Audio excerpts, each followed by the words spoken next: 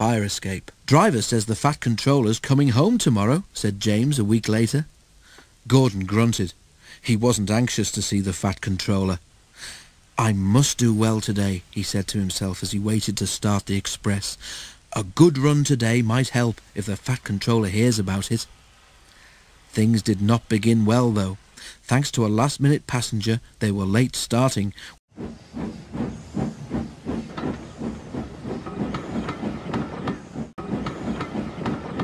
Which meant that Gordon missed his path at the junction.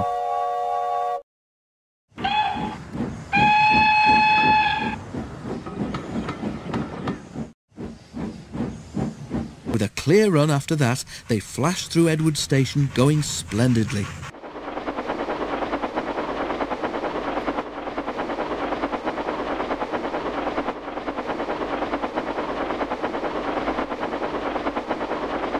They were halfway up the hill when there was a clatter beneath Gordon's cab. Suddenly, he felt a blast of cold air in his middle, as if there were a gap between his boiler and cab. Oof! he gasped. What's happened? The fireman looked at his fire. There was a gaping hole in the middle where the fire bars had collapsed and a large part of the fire had disappeared. You've lost part of your fire, Gordon, the fireman explained. What a place to do it. Already Gordon was feeling weaker. Without a full fire, his steam pressure and speed fell quickly. But his driver knew what to do. Find the biggest piece of coal you can and put it across the hole, he told the fireman. That will stop some of the cold air from getting in, and we'll be able to hold steam better. But hurry, or the hill will beat us. The fireman hurried. A large lump of coal lay near the front of the tender. Quickly he moved it into place with his shovel and a long steel bar. Gordon felt better at once. Now build the fire gently round the edges, said the driver, and, as the fireman did so, the driver adjusted Gordon's controls to make the best use of his steam. Right, Gordon, he said when the fireman had finished. Now it's up to you.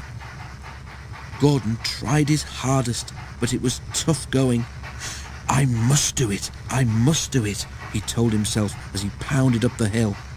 He had stuck here once before and was determined not to fail again. Poor Gordon was getting very breathless.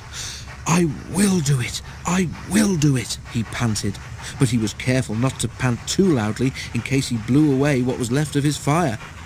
He was nearly at the top. I've done it, I've done it, he gasped triumphantly. That was splendid, Gordon, he said, and now you deserve a rest.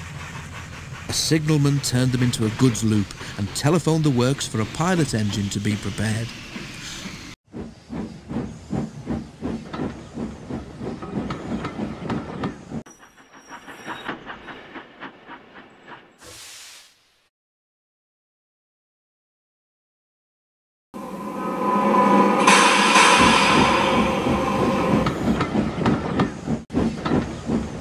Two engines finished the journey without further trouble.